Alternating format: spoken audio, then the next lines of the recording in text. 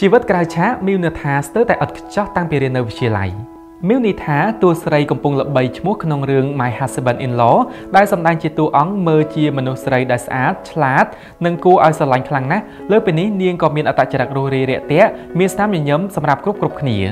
ងាកមកចរិតខាងក្រៅរបស់តារាសម្ដែងស្រីជួរមុខរូបនេះវិញមិនខុសគ្នាពីក្នុងខ្សែរឿងឡើយមានន័យថាជាសិស្សពូកែរៀនសូត្របានខ្ពស់ជាសិស្សដែលឆ្លាតណាស់ដោយការពីរៀននៅវិទ្យាល័យនាងបានចូលរៀនវគ្គខ្លីផ្នែកគូគំនូនិងធ្លាប់បានទៅសិក្សាវគ្គខ្លីភាសាអង់គ្លេសជាមួយមិត្តភ័ក្តិនៅប្រទេស New Zealand ទៀតផងចុងក្រោយនេះនាងបានបញ្ចប់ការសិក្សាផ្នែក Fashion Design ពីសាកលវិទ្យាល័យដ៏ល្បីមួយ នៅក្នុងឆ្នាំ2013តារាស្រី មីវនីថាបានប្រឡូកក្នុងវិស័យសិល្បៈនិងបានសម្ដែងខ្សែភាពយន្តជាច្រើនរហូតមកដល់ឆ្នាំ2016មីវបានរំលេចខ្លួនសម្ដែងក្នុងភាពយន្តខ្នាតធំលើកដំបូងដែលមានចំណងជើងថាសង្សារមួយថ្ងៃឬ One Day ជាមួយតួប្រុសតើចន្ទវិទ្យហើយតាមរយៈរឿងនេះក៏ទទួលបានការគ្រប់គ្រងយ៉ាងច្រើនផលផុសពីទស្សនិកជន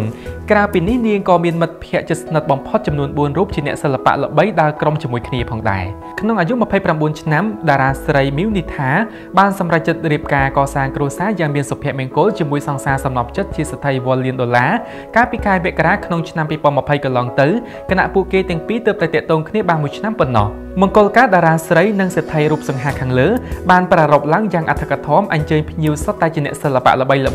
និងអ្នកនៅក្នុងសង្គមជាន់ខ្ពស់ចូលរួមអ្វីត្បិតតែជីវិតជោគជ័យមានគ្រប់សពមិនខ្វះអីមិនថាលុយឡានរស់នៅក្នុងវិឡាធំស្កឹមស្កៃព្រមទាំងមានស្វាមីស្រឡាញ់ថ្នាក់ថ្នមប៉ុន្តែមីនីថាបានអះអាងថានាងនៅតែបន្តជីវិតជាអ្នកសិល្បៈព្រោះនាងស្រឡាញ់អាជីពមួយនេះខ្លាំងណាស់ ឃើញថាជីវិតក្រៅឆាករបស់តារាស្រីថៃជួមុខមីនីថាពិតជាល្អខ្លាំងមែនទែនដោយនេះគឺជាសិស្សពូកែតាំងពីរៀនវិទ្យាល័យហើយនាងទទួលបានជោគជ័យជាបន្តបន្ទាប់រហូតមកដល់បច្ចុប្បន្ននេះ